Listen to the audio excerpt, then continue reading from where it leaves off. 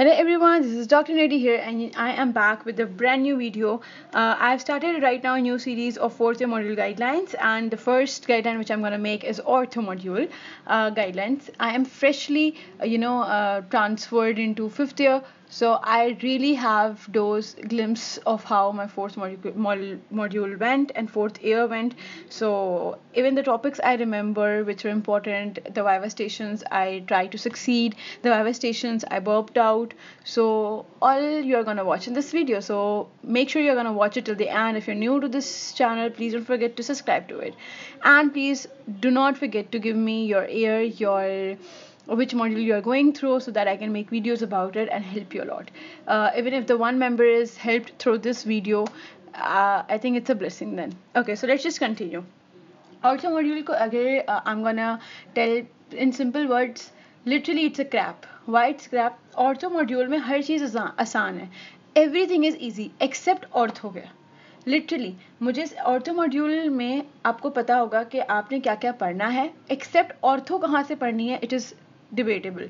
But the the basic blessing in this whole module is that ortho itna aata nahi hai मतलब ortho module में ortho ही इतना नहीं आता जिसकी वजह से you guys are literally worried about it and you guys can you know sacrifice और compromise your patho medicine pharma peds other subjects तो let just focus on the subjects जिनकी books are very determined paper अच्छे से निकल जाएगा।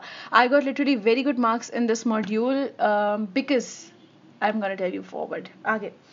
Basic बात करते हैं पैथो से। पैथो में आपके पास जो बेसिक चैप्टर्स हैं are basically your soft your bone joints ऐसे कुछ चैप्टर्स हैं ना स्केल्टल मसल्स वगैरह के चैप्टर्स हैं which you have to study osteoporosis gout rheumatoid arthritis ये सारी चीज़ें. So for the first source I am gonna suggest for the pathology firstly मैंने कहाँ से किया था? So this is what I did and medicine में एक बात बहुत इंपॉर्टेंट बता दूँ that M B B S में the more sources you find for your self just go for it try them you never know कि कहाँ से पेपर आ रहा है. Just make your concept clear ठीक है? चार बुक्स पढ़ें, आपकी मर्ज़ी, एक बुक पढ़े, आपकी मर्ज़ी. कॉन्सेप्ट अच्छा बनाना is your main concept main thing ठीक है पैथोलॉजी में first of all the thing which I did was I covered pathoma अच्छा मैं डायरेक्ट पहले पैथोमा नहीं करती, मैं पैथोमा का एक टॉपिक करती हूँ।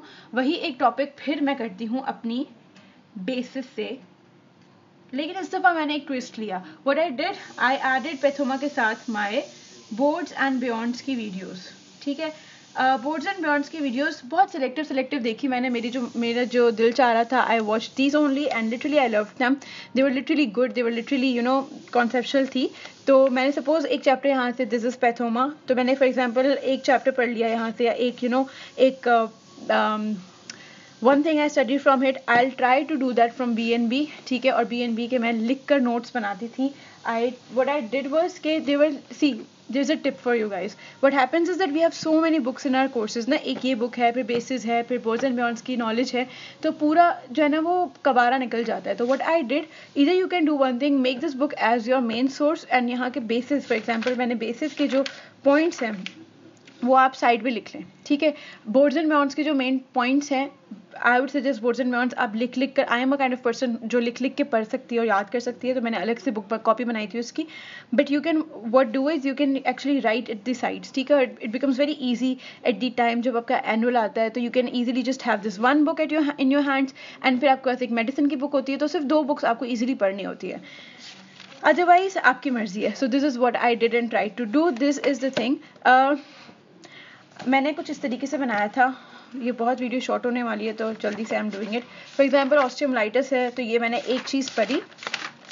Look bone tumours are very important honestly speaking bone tumours extremely important bone tumours पढ़ने के बाद मैंने फॉर एग्ज़ाम्पल ब्लू से अपनी पैथोमा लिखी थी रेड से अपनी बेसिस के पॉइंट्स लिखे थे, और बाकी जो मुझे ये कुछ ब्लैक से मिला था, वो मैंने बाकी के बोर्ड्स एंड डॉन्ट्स के कुछ लिखे थे पॉइंट्स तो this way I did it so B N B videos are suggested for it basis all those who do not want to do basis it's entirely their choice but don't forget to do morphology and see सीधे pictures I got osteomyelitis की picture in my viva and एक cancer की picture picture भी थी इन my viva तो अगर आप pictures and time के लिए रखेंगे for the one day gap के लिए वाइवा में तो it will be literally a burden for you guys तो जब आप पढ़ते जा रहे हैं बेसिस की पिक्चर्स देख लीजिएगा but basis is very important for this tumours वगैरह, मैं कोशिश करती हूँ पढ़ने की from basis but they are very lengthy so that is why I have this book and my backup backup and I literally love this book I know this book and Irfan Masood की जो मैं medicine में बताने वाली हूँ, वो entirely same है।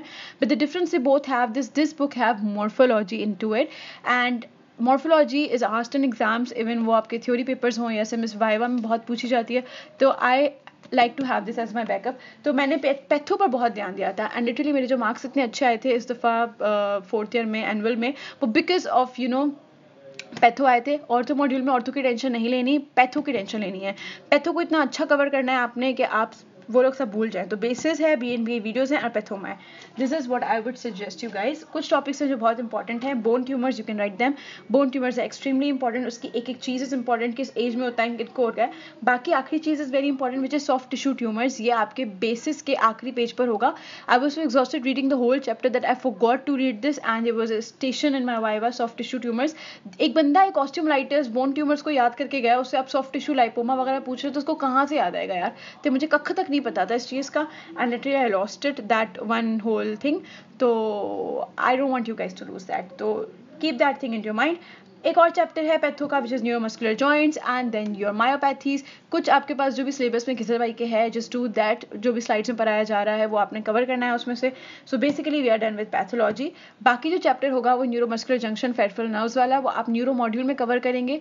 तो अगर ऐसा होता है कि कुछ चीज़ें इस मॉड्यूल की, उस मॉड्यूल में आ जाती हैं तो नो वरीज एनुअल में you'll be prepare but for now I only suggest you to do the selective topics from that chapter so pathology we are cover let's move towards medicine now the medicine plays a very important part why what i did from medicine i always suggest you guys to do irfan masood obviously i'm a i'm his big big fan he's a lifesaver but this time what happened was that irfan masood maybe kya tha ki this time papers the past papers se i at the end realized that management was focused treatment was focused they were it was asked more कि first line क्या देंगे कोई patient है उसको पहली चीज़ क्या initial treatment करेंगे तो that why that's why I realise के वट आई डिड अब it's a long procedure what I did मैंने जो है ना, मैंने कोई भी चीज़ पढ़ी, उसकी मैंने ट्रीटमेंट मैनेजमेंट यहाँ से भी पढ़ी और मैंने डेविडसन से, यहाँ से मैंने बाकी चीज़ें पढ़ी they are very important honestly speaking यहाँ की एक एक चीज़ आती है र्यूमोटाइड आर्थराइटिस में जो एस e में जो चीज़ें होती हैं,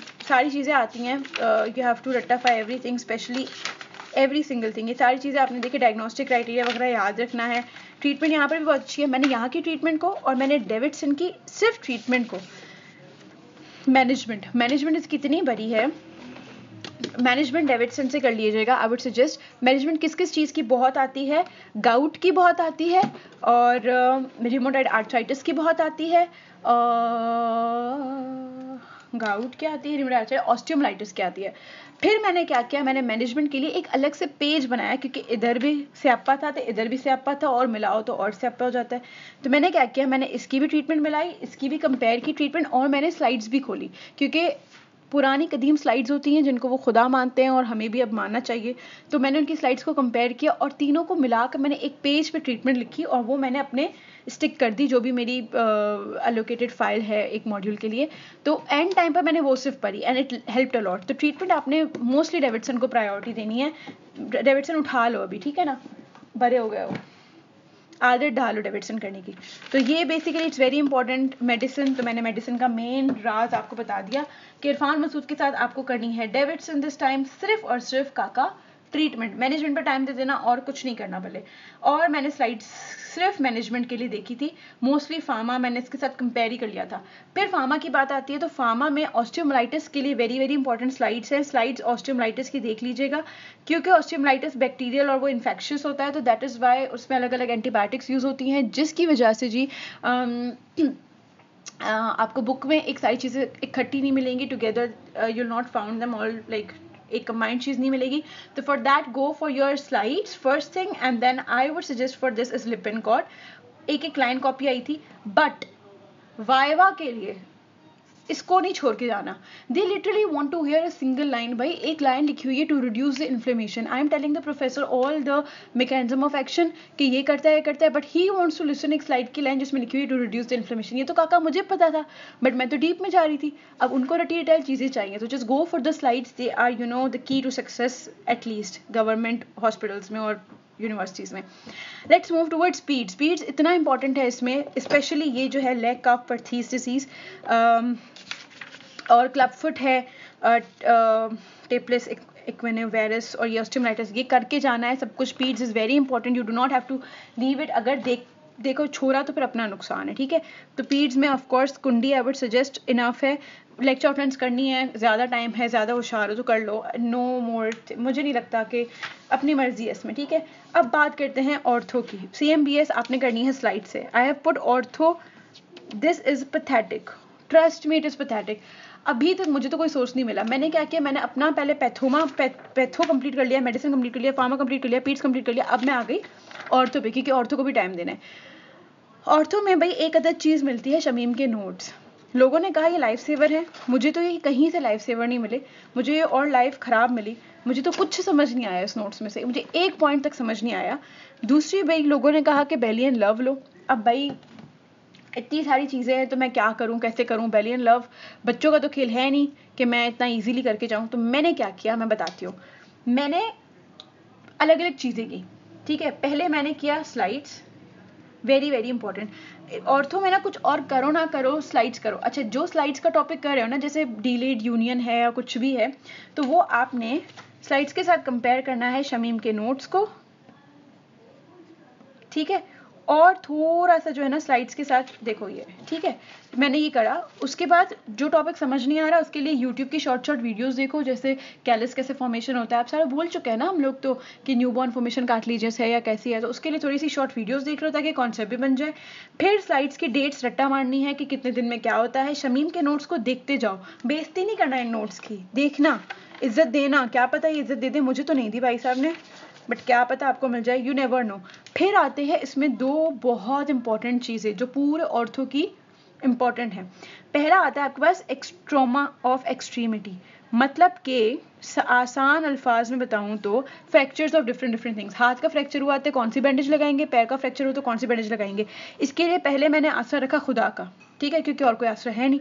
दूसरा मैंने आसरा रखा बहुत इंपॉर्टेंट है बेली एंड लव मैंने क्या किया?